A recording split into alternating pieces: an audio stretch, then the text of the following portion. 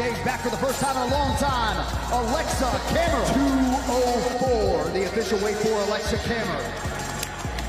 And his opponent is Tanner the Bulldozer Boser, 204 and a half, the official weight for Tanner Boser.